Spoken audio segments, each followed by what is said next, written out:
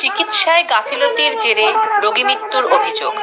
দুর্গাপুরের শোভাপুরের একটি বেসরকারি মেডিকেল কলেজ হাসপাতালের ঘটনা। অবিলম্বে ক্ষতিপূরণ ও তদন্তের দাবিতে হাসপাতালের গেটে তুমুল বিক্ষোভ দেখান রোগীর আত্মীয়রা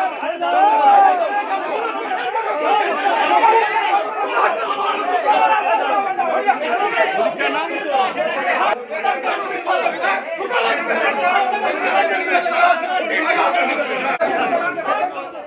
হচ্ছে আমরা, আমাদের ভাইফোঁটা ছিল, আমাদের সব মিসেসরা বাপের বাড়ি গেছিলেন, ওখানে সব ওরা ছিল। যে ওইখানে ওর সকাল থেকে একটু অসুবিধা হতে শুরু করে। এইখান, এই বসলেই এইখানে ব্যথা করে, দুই পাঁচরে ব্যথা করে। তো সন্ধ্যাবেলার দিকে ওর বেশি বাড়াবাড়ি হওয়াতে আমার বড়জন আর শ্বশুরমশাই ওকে বাইক কারে এনে আই কিশোরীতে ভর্তি করে। আই কিশোরীতে ভর্তি করার পর পাক্কা পাঁচ ঘণ্টা সময় লেগেছে। যেহেতু স্বাস্থ্যসাথী কার্ড আছে, নাকি ফর্ম ফিল আপ এসব করতে পাক্কা পাঁচ ঘণ্টা সময় লেগেছে পেশেন্ট ওইভাবে পড়েছিল অনলি ফর শুধু ব্লাড টেস্ট হয়েছে। ঠিক আছে? সেই দিন আর কিছু হয়নি, তারপরের দিন আমি আরও আসি।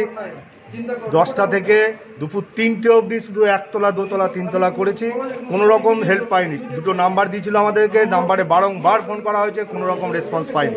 ধরুন কালকে নিয়ে গেছে কালকে বলল এক্স রে করতে নিয়ে গেছে। কোথায় নিয়ে গেছে? না সিটি স্ক্যান হয়েছে তো পাঁচরের রোগ তাহলে মাথার কি আছে ব্যাপার আছে? আমরা তো ওনাকে বলিনি। পরশু দিন আমরা তো বলিনি সারা বডি চেক আপ করুন অবশ্যই চিকিৎসা করবেন যেখানে আট তারিখ ভর্তি হয়ে আট তারিখ সারা চিকিৎসা হয়নি ন তারিখ সারা চিকিৎসা হয়নি। কালকে দশ তারিখ কালকে ডাক্তার একটার সময় এসে তাও আমরা গালিগালাজ করে। সত্যি কথা বলছি শুধু ট্রেনারে ভর্তি। তিন চার দিন আগে ভর্তি হয়েছে। ওরা বলছে যে কালকে ঠিক ছিল। আমি তার সঙ্গে দাদারা এসেছিলেন। কালকে আমি রিপোর্ট নিলাম। বলছে হ্যাঁ, সব ঠিক আছে এখন? কালকে নর্মাল খাবারও দিয়েছে কাল।